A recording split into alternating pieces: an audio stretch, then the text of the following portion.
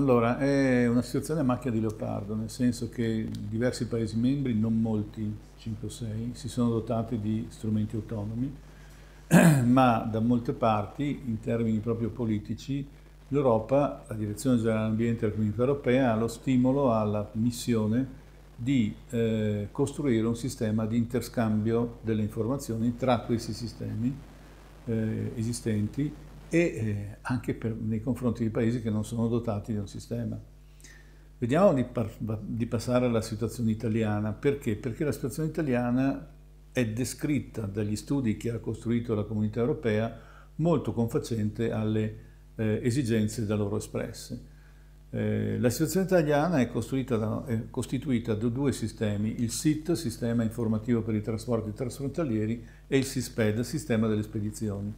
Il sistema informativo dei trasporti trasfrontalieri, sono, di questo sistema sono dotate oggi la Regione Veneto e la Regione Lombardia. Ed è un sistema che costruisce la pratica di import-export eh, passando attraverso tutti gli stadi, attraverso tutte le autorità competenti, i soggetti coinvolti ai fini autorizzativi. Il SISPED invece va alla, alla, alla conclusione di questo processo, raccoglie eh, solamente i documenti una volta che questi sono stati autorizzati e prodotti. Qual è la differenza? La differenza è sostanziale, nel senso che nel primo caso io genero e seguo informaticamente un processo di costruzione di uno, di uno strumento che è previsto dalla norma. Nel, seco nel secondo caso tutto questo è già avvenuto e raccolgo solamente i dati. Di fatto il primo caso serve a sveltire le pratiche di eh, autorizzazione dell'import-export. Il secondo serve invece ad, adottare, ad raccogliere la documentazione eh, necessaria alle autorità di ispezione, alle attività di ispezione effettuate dalle autorità di controllo. Perché c'è questo dualismo? Perché Regione Veneto e Regione Lombardia costituiscono in termini di volumi il 50% dell'import-export che viene in tutta Italia. Nelle altre regioni ci sono delle concentrazioni eh, molto importanti di eh, materiali che entrano e escono, però c'è una diluizione del rimanente 50%.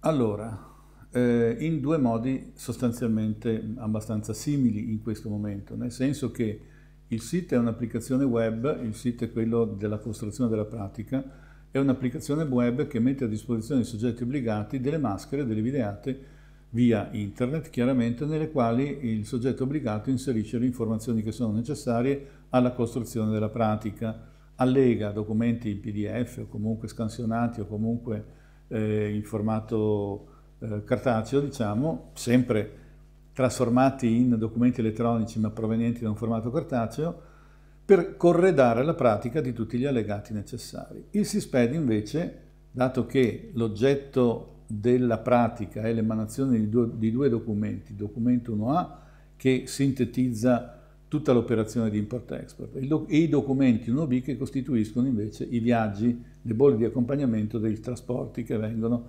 effettuati successivamente.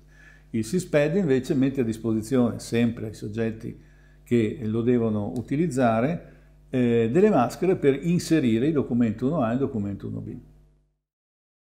Allora, questa situazione si può evolvere eh, dando un aiuto molto consistente ai soggetti obbligati, i quali proprio per la costruzione di questi, concettualmente sono costruiti questi sistemi, sono obbligati a inserire i dati praticamente due volte, una volta nel loro sistema informativo e un'altra volta nel sito, nel SISPED, per riuscire ad istituire il dialogo o comunque eh, alimentare questi sistemi secondo le regole ehm, ad essi connessi.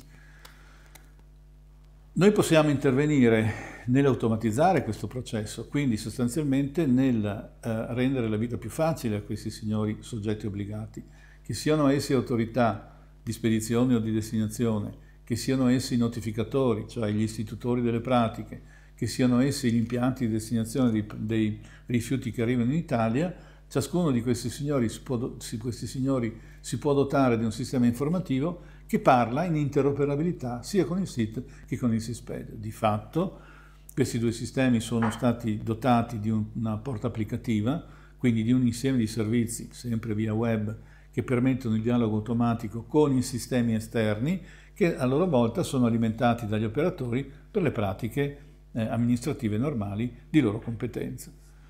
L'obiettivo sarebbe quello di eliminare anche questi tempi morti e questa possibilità di sbagliare, di errori nel ridigitare le informazioni più volte e quindi dotare i sistemi informativi dei soggetti obbligati di un mm, sistema di interoperabilità e quindi di dialogo automatico con i sistemi centrali. Mi verrebbe da dire che sono il mattatore, ma non è così. Diciamo che io sono, sono, sono l'analista che ha costruito il SIT e che ha poi generato il SISPED, oltre ad avere la società che essere a capo della società che eh, in termini operativi ha costruito questi due sistemi. Questo mi ha permesso poi, attraverso la nomina da parte del Ministero alla, tavolo, alla partecipazione ad un tavolo di lavoro in Europa, di seguire i lavori anche a livello europeo. Quindi sono in grado di conoscere in maniera abbastanza ehm, completa, direi, tutta la situazione internazionale. E non solo, sono in grado anche di intervenire in maniera molto precisa e molto oculata e molto, eh, diciamo, conveniente per le persone che possono seguire eh, i miei indirizzi, i miei consigli, nel far sì che questi strumenti vengano alimentati automaticamente. Perché? Perché in questo modo si diminuirebbero di molto eh, i tempi e comunque gli errori di, di comunicazione con questi sistemi. Eh, il futuro di questo mercato è in un ampliamento della digitalizzazione dei processi. Cosa significa? Significa non dover più utilizzare eh, sistemi informativi diversi per realizzare gli stessi documenti o comunicare gli stessi documenti alle autorità competenti. Sostanzialmente sulla base delle emanazioni da parte dell'Europa di questo Electronic Data Interchange, di questo protocollo per la, lo scambio informativo in formato elettronico dei documenti tra i diversi Stati membri, tra le autorità competenti dei diversi Stati membri e i soggetti obbligati, ciascun soggetto ha senso che si doti di un sistema che dialoga in automatico attraverso questo protocollo con questi ulteriori interlocutori. Quindi eh, l'Europa interverrà standardizzando il dialogo, eh, i soggetti dovranno adeguarsi utilizzando questo standard per dialogare. Come si fa? Eh, bisogna dotarsi di un sistema informativo in grado di poterlo fare, di poter dialogare direttamente con SIT e SISPED in maniera tale che poi il dialogo possa essere esternato, esternalizzato e mandato fuori dai, dal paese diminuendo mostruosamente i tempi di, di istruttoria delle pratiche e praticamente comunicando quasi in tempo reale le movimentazioni dei materiali che vanno e vengono attraverso i confini del paese.